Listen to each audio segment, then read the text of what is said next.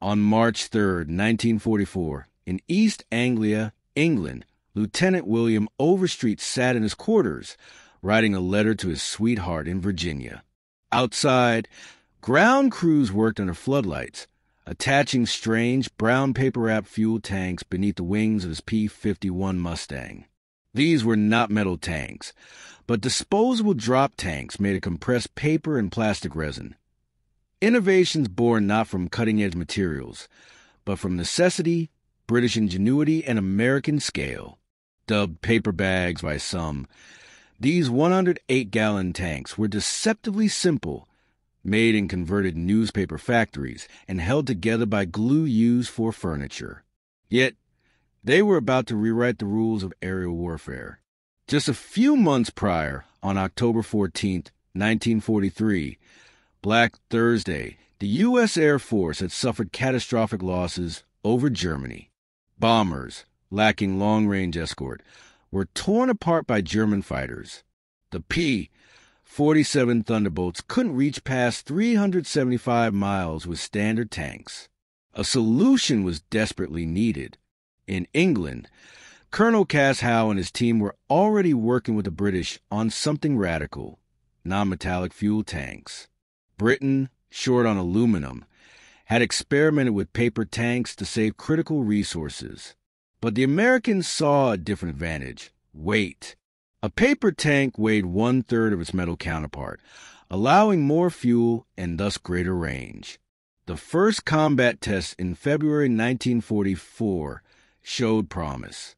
And then, with the arrival of the P 51 Mustang, the equation changed entirely. When married to paper tanks, the Mustang's range extended to 850 miles, far enough to escort bombers all the way to Berlin and back. On March 4th, 1944, Overstreet and his fellow pilots flew into history, punching through what had once been considered impossible. For the first time, single engine fighters reached Berlin and returned. The Luftwaffe was caught off guard and morale on both sides shifted instantly. American fighters over Berlin were a shock the Germans had not prepared for. These paper drop tanks were masterpieces of practical design, constructed from layered kraft paper, bonded with phenolic resin, shaped over wooden forms, and coated with silver paint. They were lightweight, strong, and effective. Filled just before flight, they lasted five hours enough for a round trip to Berlin. Their aerodynamic profile was superior to metal tanks, and when hit, they tore rather than exploded. Built in places like Bowater Lloyd's paper mills and even British homes, these tanks were cheap, efficient, and disposable. Skeptics in the U.S. declared them unfeasible, but the 8th Air Force was already proving them wrong. 15,000 tanks used without a single failure due to construction. As 1944 progressed, these paper tanks became standard.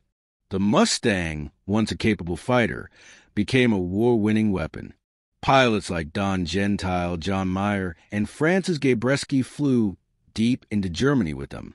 Bombers that once flew alone were now protected. Interception rates plummeted. Losses dropped from catastrophic to manageable. German morale and strategy crumbled. The Luftwaffe, once masters of the air, could no longer safely scramble fighters. Even the formidable German aces acknowledged the turning point. The Americans had solved the range problem. The war had changed. The logistics were equally revolutionary. Paper tanks required one tenth the shipping space of metal tanks. Hundreds could be flown in flattened, stacked bundles. Ground crews could unwrap and mount them in minutes. From D Day to the Battle of the Bulge, these tanks ensured constant air cover. They allowed repeated sorties, deep penetration, and flexible operations. On snowy fields in Belgium or hastily built strips in France, they delivered range, reliability, and tactical superiority. The environmental legacy, unappreciated at the time, was notable. While metal tanks became long term hazards, Paper tanks biodegrade within months.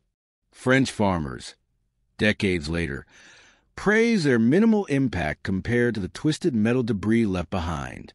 From a production standpoint, the paper tank program was a marvel of Allied cooperation. British innovation met American mass production. The lamination techniques, resin formulas, and quality control standards laid foundations for post war manufacturing, aerospace components, and even electronics. Combat reports tell the story best. Lieutenant Robert Powell flew to the Rhine, dropped tanks, fought Me 262s, refueled, and flew a second mission, all in one day. Lieutenant Urban Drew flew 1,400 miles round trip and shot down two jets. Captain Lewis Kurtz confirmed the same tanks worked in Pacific humidity as well as European cold. In final missions over Czechoslovakia and Hitler's retreat, paper tanks remained under Mustang wings, symbols of reach, power, and innovation. The war in the air wasn't won by better fighters alone. It was won by range. And range came from disposable fuel tanks made of paper. These tanks were born in newspaper factories, carried under the wings of American fighters, and dropped in fields across Europe. Their impact was measurable 8,000 aircrew lives saved, 79% increase in escort range, Luftwaffe defenses shattered. They were proof that sometimes victory doesn't come from exotic technology, but from creative application of the simplest ideas, executed at scale when it matters most. When General Doolittle called the paper drop tank the most important tactical development of the air war in Europe, he wasn't exaggerating. It wasn't glamorous. It didn't make headlines. But it worked perfectly, reliably, decisively, and behind every tank was a worker who never saw combat, but helped win the war. A tank made of paper, glue, and ingenuity carried the fuel for victory, and proved that sometimes the simplest tools can deliver the most profound results. Today, most of those paper drop tanks are gone, disintegrated by time, rain, and wind, but their legacy remains in the missions they made possible and the lives they saved. At museums and veterans reunions, You'll find fragments a rusted metal fitting, a faded photograph, or a pilot's quiet story about flying farther than anyone thought possible. These tanks weren't just tools, they were symbols of what could be achieved when urgency meets ingenuity. In a war defined by massive machines and metal might, it was compressed paper, soaked in resin, crafted by civilian hands, that made all the difference. The paper drop tank story reminds us that great victories aren't always forged by the most glamorous weapons or the flashiest inventions. Sometimes they're built in silence, in shifts, by ordinary people using extraordinary resolve. In a world looking for high tech solutions, the lesson remains clear.